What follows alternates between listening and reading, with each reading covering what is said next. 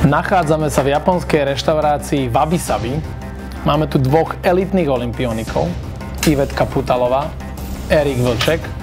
A teraz sa presvedčíme, kto z nich je pripravený lepšie na Tokio po tej vedomostnej, duševnej, psychickej stránke. Ready? Ready. Áno.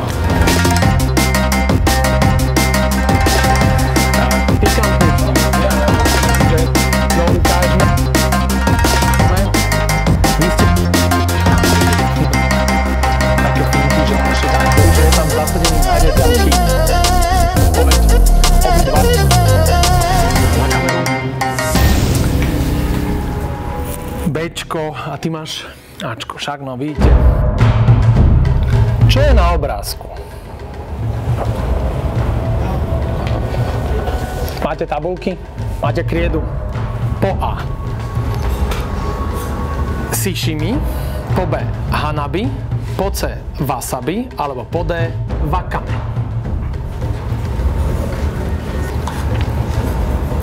Akože Chce, ak chcete pomôcku, vidím, že Erik trošku tápe. Uh, pikantný zelený chren, ktorý sme pred chvíľočkou jedli. No, Čo tápe? Už mám. na všetko. Ukážeme a povie sa Ivetka, dobre, že som to zvalil na Erika, lebo Ivetka už maže. Ivetka už maže. No ukážme, ukážme. C, áno, jasné. Samozrejme, to, čo sme hovorili, antioxidant. Áno, keby prečo? Erik, povedz to, čo sme sa na... Presne tak, keď sú tam nejaké baktérie, tak wasabi to Aj vyzabíja. na preverí. No, no, samozrejme. Druhá otázka. Ako sa hovorí císárovi symbolické hlave Japonska? Po A. Tenshi, po B. Tenma, po C. Teno, po D. Tako. Tenshi, Tenma, Teno, Tako. Pako. Tako. Nie Pako, Tako je Dčko. Cčko Teno, B Tenama a A Tenši. Komu? Mám tebe ukázať? Nie, tak. Ukážeme na kameru. Bčko a ty máš Ačko, však no vidíte.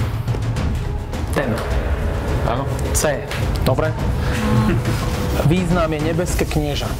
Dobre? Císar. Hlava Japonska.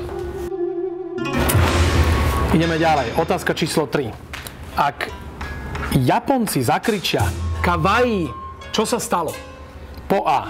Uvideli niečo roztomilé a krásne. Po B. Veľmi sa zľakli. Alebo po C. Vyzývajú dobytky. Kawaii. Kawaii. Kawaii. Kawaii. Sa to má správne foneticky kawaii. Uvideli niečo roztomilé a krásne. Po B. Veľmi sa zlakli. Alebo po C. Vyzývajú dobytky. Kawaii. Skúsme od, od toho výrazu kawaii. Kawaii. Ešte viac. No vidíš, no však preto je tu ten moderátor. No, áno, Ivetka už má, Erik typovačka. Ja typujem. No. Dvakrát Bčko ste natypovali však. Kawaii. Uvideli niečo krásne a roztomilé. To je čo? Kto by si to bol pomyslel?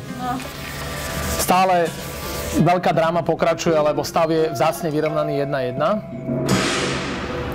Čo predstavuje japonská vlajka? Veľmi jednoduchá otázka. Po A. Slaná slivka v rýžovej guličke. Po B. Vychádzajúce slnko. Po C. Štilizovanú chryzantému. Alebo po D. Japonskú čerešňu sakura. Ukážeme si tabulky. Výborne chválime vychádzajúce slnko. Stále vzácna remíza. Otázka číslo 5. Čo je pre Európana netradičné v reštauráciách v Japonsku? Po A. Nenájde tam žiadne jedálne lístky. O tom, čo bude jesť, rozhodne kuchár.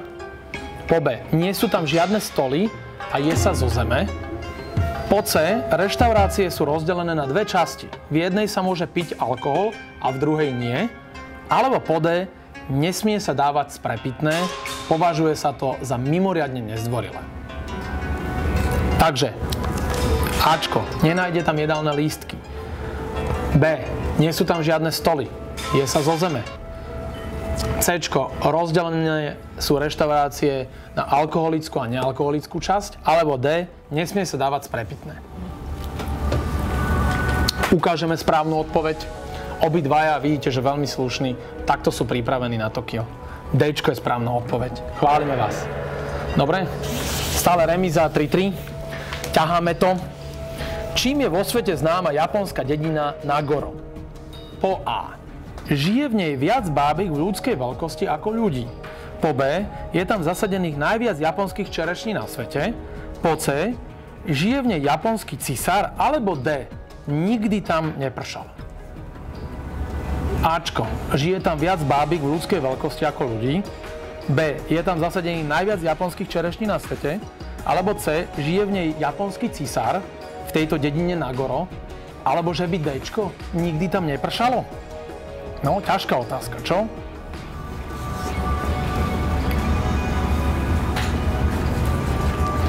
Áno, Erik ešte dáva také finty, že on ešte dá dodatočné čiaročky. No, tak ukážeme. Vy ste si mysleli, že je tam zasadený najviac japonských čerešní na svete a neuveríte, ale japonská umelkyňa Ayano Tsukimiová sa rozhodla, že jej dedina už pomaličky vymierala ona urobila toľko bábik, že ich je tam naozaj viacej ako tých ľudí. Dobre? Dala ich tam. Takže Ačko. Dobre vedieť. Myslím, že toto bude definitívne absolútna dramatizácia najväčšia. Thriller pokračuje. Putalová, Vlček 3-3 posledná, siedma otázka. Slávna hora Fuji, obľúbená destinácia pre pešie túry, najvyššia sopka v Japonsku a najčastejší motiv japonských pohľadníc, ale pri ceste hore sa trošku zapotíme. Však, naši olimpionici, čaká nás výstup do akej výšky? Po A 3776 metrov, B 5748, C 2333 metrov alebo D 2655 metrov. Hora Fuji je stále aktívna sopka. Čísla. Koľko sa nachodíš? Akú nadmorskú výšku zdoláš, keď poješ na Fuji? A. 3776 metrov. Bčko. 5748. C. 2333 alebo D, podobná nadmorská výška našim vysokohorským a vysokotatranským končianom 2655. Áno, Erik už má nejakú odpoveď. Erik už má, Erik už má, pozor. Ivetka Putalová tiež už niečo zaškrkla. Môžeme otočiť cedulky. Erik zaškrkol 3766. To je správna odpoveď. Ivetka si myslela, že je to 2, 3, 3, 3. Dámy a páni, Erik Vlček je pripravený na Tokio, lebo poráža Ivetku Putalovú 4-3. Nikde nezostaneš, pôjdeš ty pekne reprezentovať. Obaja sú fantastickí, lebo preukázali veľké znalosti celej japonskej krajiny, japonskej kultúry, dokonca aj nadmorskej výšky. Áno, naučili ste sa, takže sa vám to veľmi páčilo. Ste pripravení na Tokio? Ne. Budete bojovať? Keď toto stačí, tak sme. Tak, držíme im palce. Ahojte, vidíme sa.